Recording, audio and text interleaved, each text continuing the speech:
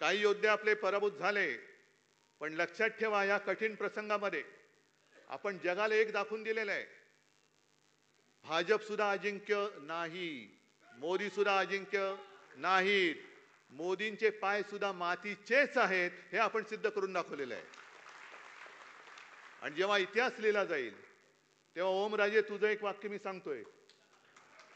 कुठे गेलो ओमराजे ओमराजे एक चांगलं वाक्य बोलला होता. ओमराजेंनी सभेत विचारलं होतं खंडोजी खोपडे सूर्याजी पिसाळ ही नावं घेतल्यावर आपण काय म्हणतो?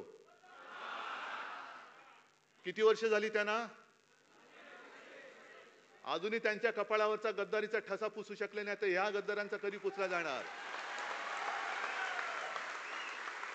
आणि इतिहासामध्ये नोंद ही गद्दार म्हणून आपली व्हायला पाहिजे का योद्धा म्हणून व्हायला पाहिजे? मी म्हणेन हार जीत होत असते. निवडणूक हारलो तरी उद्या जिंकेन. पण जर हिंमत हारलो तर पुन्हा जिंकू शकणार नाही. मी हिंमत हारणार नाही. मी हिंमत तुम्हाला हारू देणार नाही. काही ठिकाणी निवडणूक जरूर हरलो असेल. जिवारी लागलाय माझा पराभव. पण हा पराभवाचा वचवा मी तिथे विजय मिळून दाखवल्याशिवाय राहणार नाही.